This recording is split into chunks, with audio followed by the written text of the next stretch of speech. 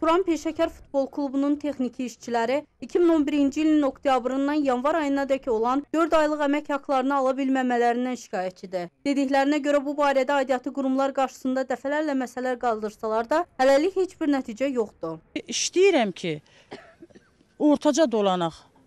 Şor çörəyim olsun. Nəyimsə olsun, kiməsə yük olmayım, kiməsə borclu olmayım, əl açmayım. 4 ayda maaşı almamaq nə deməkdir? Çox yerlərə müraciət eləmişik, ərizə yazmışıq. Hərəsindən bir cavab gəlib. Ən birinci ərizəmiz Musa müəllimin özünə getdi ki, bəlkə müəllim özü bu ərizə ilə də kifayətlənə bizim əmək haqqlarımızı verə. Amma heç bir cavab olmadı. Biz ona məktub yazdıq, müraciət elədik ki, ondan çox xahiş elədik ki, bizim maaşlarımızı versin. Ancaq o bizim məktubumuza cavab vermədi. Belə haqsızlıq olarmı? Hamımız burada ehtiyac içindəyik. Biz əvvəla bütün komanda adından, klub adından deyirəm ki, Musa müəllimdən xahiş eləyirik ki, bizim zəhmət haqqımızı, halal haqqımızı kömək eləsin, bizim maaşımızı versin. İşçilərin əmək haqqı tələbində haqlı olduqlarını Turan Peşəkar Futbol Klubunun icraçı direktoru Rasim Əliyev də təsdiqlədi. bu klubu saxlaya bilmirsə, yaşada bilmirsə, işçilərin zəhmət haqqını verə bilmirdisə, o halda bunu etiraf etməli idi və bu halda işçilər də e, ya işləməməli idi, ya da pulsuz işləməyə qane olmalı idi. Təəssüflər olsun ki, belə bir hal baş vermədi. Əksinə həmişə e, zəhmət haqqını verəcək haqda e, işçilərə vədlər verildi.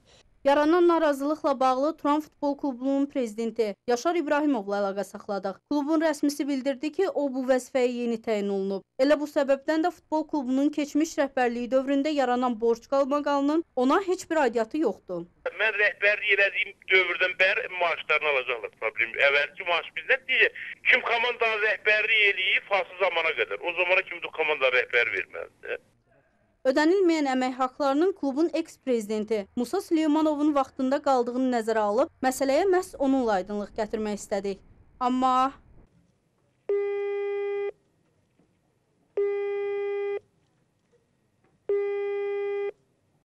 Sabiq klub rəhbəri zəngimizi cavabsız qoyduğundan ona ünvanlayacağımız suallar da cavabını tapmadı. Texniki işçilər isə əmək haqlarını alanadək keçmiş rəhbərliyə məxsus texniki avadanlıq və 3 ədəd yük avtomobilinin stadiondan çıxarılmasına icazə verməməkdə israrlıdır.